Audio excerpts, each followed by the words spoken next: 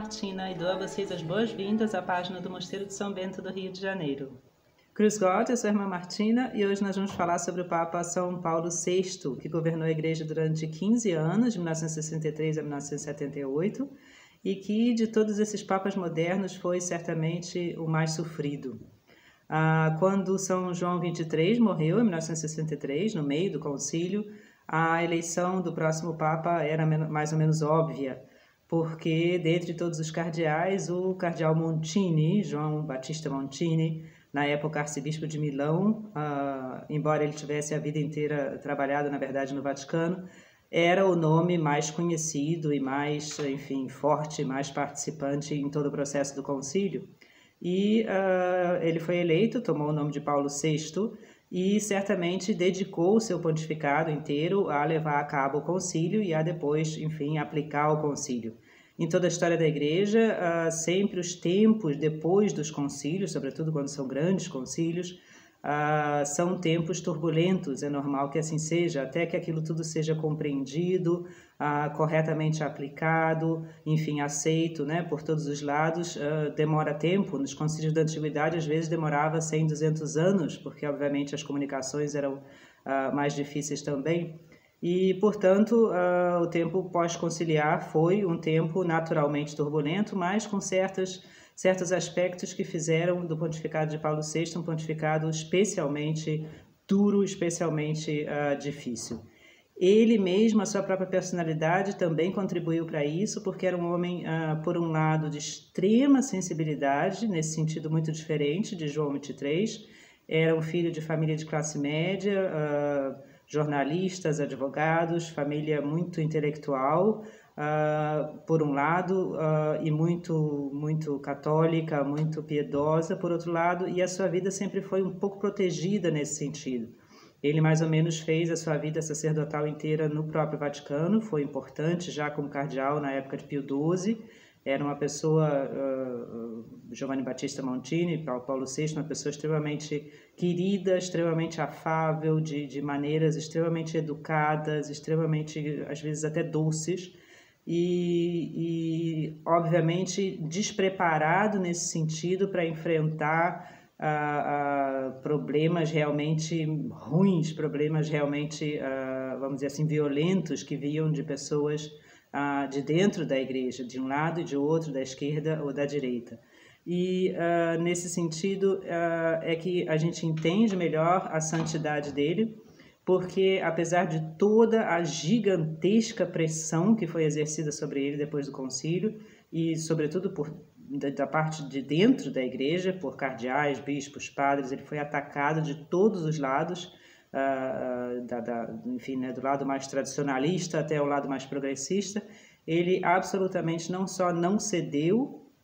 ficou uh, sempre fiel uh, à doutrina, à moral e ao que o concílio uh, corretamente tinha trazido de novo, soube manter esse extremamente difícil equilíbrio da boa doutrina, do bom caminho, da, da boa medida, como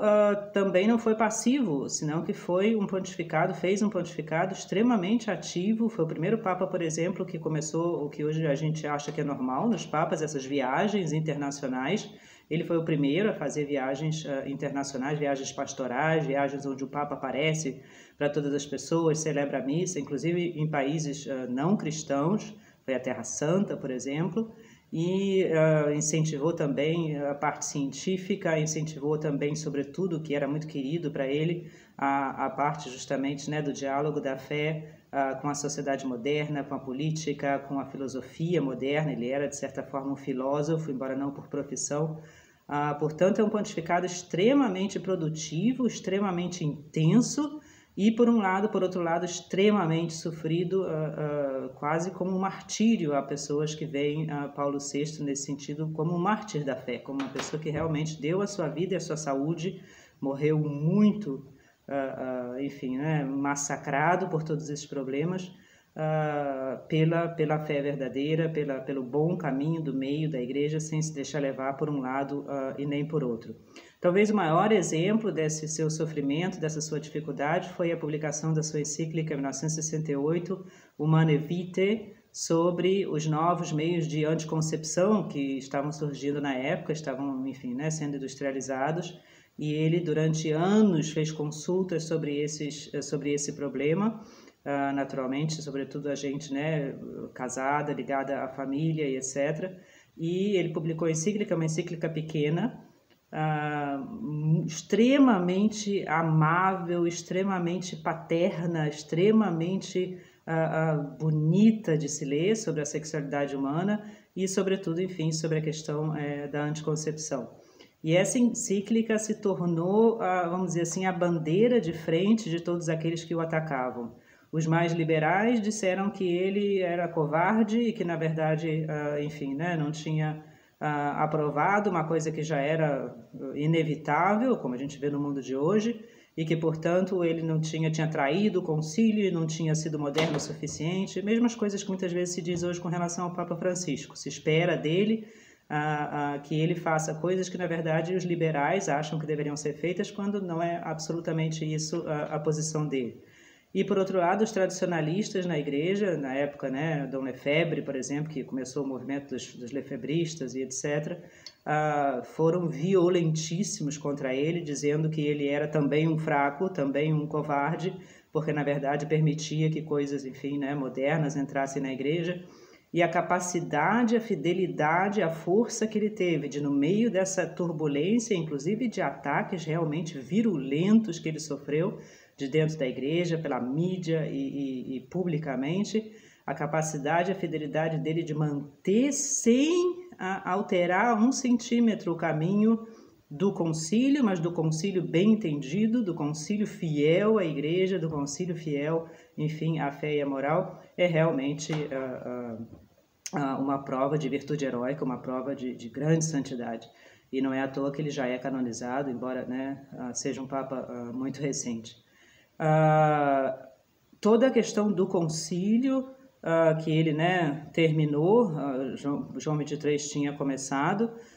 ele vê justamente como aquilo que a gente falava já no outro vídeo, como uma, uma, assim por dizer, limpar a poeira da igreja, de certa forma, e de novo as essências, voltar de novo, reformar quer dizer isso, né? Reformar, formar de novo, a coisa perdeu a forma e a gente reforma, volta à forma. E ele vê justamente, principalmente nos últimos séculos, desde o século XVI, XVII, a, a, sobretudo a cultura europeia, assim, cheio né, de pequenas, enfim, rituais e coisas, e vestimentas, e, e, e, e todo tipo de coisas materiais em volta da igreja, que por um lado ajudam, por um lado fazem sentido, claro, para muita gente, é a cultura de muita gente mas, por outro lado, para uma igreja mundial, para uma igreja que já não é mais europeia, nem majoritariamente europeia, hoje em dia, claro, ah, para uma igreja que justamente tem que falar para esse homem moderno, que já não é mais o homem europeu do século XVII e XVIII, isso já não faz mais sentido, por um lado, e, por outro lado, atrapalha porque as pessoas ficam achando que uh, ser cristão, ser católico, quer dizer se converter culturalmente a essa cultura europeia típica do século XVII e XVIII, o que não é absolutamente o caso, mesmo porque a igreja em si não é europeia, começou na, na enfim, né, no que hoje é a Terra Santa entre judeus, portanto não faz sentido nenhum em, dizer que a igreja europeia, durante séculos, ela esteve, obviamente, uh, mais presente na Europa, formou a civilização europeia, da Europa veio para outros continentes, mas isso é uma questão histórica, isso é uma, isso é uma circunstância, isso é um acidente.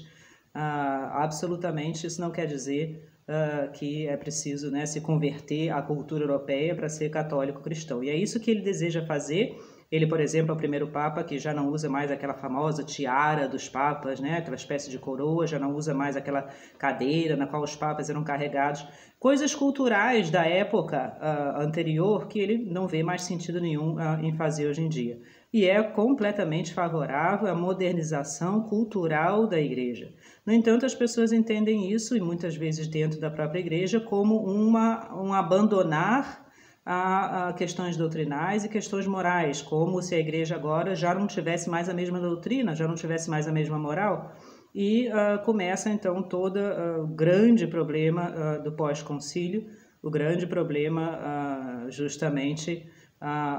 enfim, né, das liturgias que são agora já completamente fora de, de da regulamentação, obviamente, natural do Vaticano, uh, começa o problema de uma quantidade imensa de pessoas né, deixando o ministério, deixando o sacerdócio, deixando uh, os seus votos religiosos. Há uma febre, por assim dizer, de trazer a igreja para a mentalidade moderna. E ele insiste constantemente nisso, a mentalidade moderna é boa naquilo que a gente pode aproveitar de bom, mas é ruim naquilo que é materialista, por exemplo, marxista, por exemplo, enfim, né, mentalidade mundana, como diz o Papa Francisco. A gente, a igreja, não tem que se adaptar à mentalidade do mundo, ao contrário, ela tem que se manter independente para poder evangelizar o mundo, sem fazer ela mesma também uma barreira a coisas boas que existem. E isso é um trabalho, obviamente, dificílimo, no qual nós estamos ainda, nós vivemos nesses tempos pós-conciliares, isso é um, é um, grande dilema do Papa Francisco também, como ser profundamente cristão no mundo de hoje, gente realista, mas sem se deixar levar a, enfim, né, o Papa Francisco diz isso sempre, ir até as, as periferias, mas sem ficar lá, sem se deixar influenciar, senão que trazer as pessoas para Deus, trazer as pessoas para Cristo, não quer dizer trazer as pessoas para uma cultura determinada. Culturas são variadíssimas dentro da igreja. Outra coisa que o Papa Francisco diz sempre: a gente não quer uniformidade, a gente quer unidade na fé. Uniformidade uh, não é boa. E Paulo VI, uh, eh, enfim, acabou seu pontificado em 1978 muito esgotado. Realmente uma época hum, quase de medo, de muita insegurança. Ele, pela sua personalidade, também muito, uh, enfim amável de certa forma, às vezes impulsiva um pouco também, dava às vezes uma impressão né, de insegurança, de, de, de hesitação, embora interiormente fosse um homem seguríssimo, e, e, sofreu muito, foi muito atacado, mas levou adiante até o último momento a missão que ele achava que Deus tinha confiado a ele, e hoje a gente vê uh, uh, o bem gigantesco que esse homem, externamente aparentemente fraco, uh, internamente um, por assim dizer, um monstro de força, uh, de firmeza uh, e de santidade, o bem que esse homem fez para nós e fez a igreja, e é com muita alegria que a gente pode chamar ele hoje né, de São Paulo VI, sem dúvida nenhuma, merece no nosso coração também essa evocação. Que São Paulo VI rogue por nós e até o nosso próximo vídeo.